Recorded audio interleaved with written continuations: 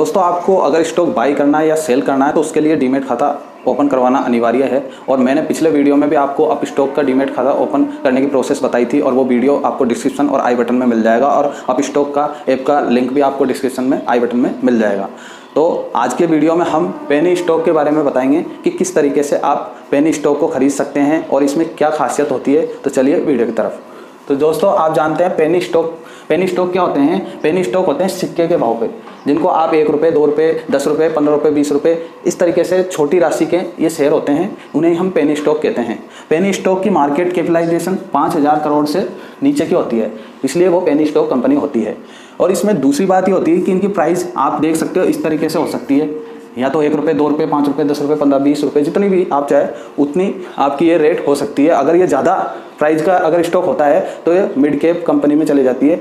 इसलिए ये small cap company में आती है, इसलिए इन्हें पेनी स्टॉक कहते हैं। इनमें अपर सर्किट और लोअर सर्किट कभी भी एनी टाइम लग जाता है। और अपर सर्किट और लोअर सर्किट में ये होता है कि यदि आप अपर सर्किट की कोई शेयर को खरीदते हैं, जैसे मान लेते हैं वो दो रुपये का शेयर है, और दो रुपये की शेयर पे दस पैसे का अपर सर्किट लग जाता है। तो दस पैसे का अपर सर्किट लगने पर क्या होगा? इसमें ओनली बायर ही रहेंगे सेलर नहीं रहेंगे। जबकि लोअर सर्किट में आपके क्या होता है? ओनली सेलर रहेंगे बायर नहीं रहेंगे। अपर सर्किट में आप बेचकर निकल सकते हैं। जबकि लोअर सर्किट में आप बेचकर निकल भी नहीं सकते। इसलिए ये बहुत रिस्की होता है। अगर सही एनालिसिस और फंडामेंटल देख के नहीं लिया जाए शेयर को तो काफ़ी बड़ा लॉस हो सकता है। इसका आपका कैपिटल का पाँच परसेंट या सात परसेंट, जो भी आप जितना लगाना चाहे, उतना लगा सकते हैं, लेकिन कम से कम इस स्टॉक में डालना चाहिए। और यदि अगर आप अच्छे एक्सपीरियंस हो जाता है आपको देखते हुए तो आप अच्छी बाइंग अपॉर्चुनिटी देख सकते हैं। आप जब देखते हैं, नए इन्वेस्टर आते हैं तो उनके पास कैपिटल कम होती है। कैपिटल कम होने के कारण वो पेनी स्टॉक को बाई करते हैं। जैसे मान लेते हैं आपके पास दस हज़ार रुपये हैं तो आप दस हज़ार रुपये की प्राइस में दो रुपये या एक रुपये के शेयर काफ़ी मात्रा में खरीद सकते हैं। इसलिए इसकी रेट अट्रैक्टिव होती है, इस वजह से इसमें न्यू इन्वेस्टर फंस जाते हैं और कई बार ऐसी जगह फंसते हैं कि ये लोअर सर्किट लगता है तो वो लोअर सर्किट आधी रेट तक भी नीचे जाता रहता है और आपका बड़ा लॉस हो जाता है। यदि आपको पेनी स्टॉक खरीदना है तो पेनी स्टॉक खरीदने से पहले एक बात ध्यान में रखें कि उसकी फंडामेंटल चेक कर ले। फंडामेंटल का मतलब ये होता है कि उसमें एनालिसिस करना पड़ता है कि कितनी बड़ी कंपनी है और वो क्या काम करती है, आगे उसका भविष्य है या नहीं है, प्रॉफिट जनरेट कर रही है दस साल से। ये उसके ट्रैक रिकॉर्ड देखे जाते हैं और स्पेशल उसमें मोड क्या है, जैसे कि आप देख सकते हो, मारिको कंपनी पैरासिट ऑयल बनाती है और हिंदू लीनिवर 18 प्रोडक्ट बनाती है जो खुद स्पेशल है वो, और वो अधिकतर बाय और सेल होते हैं।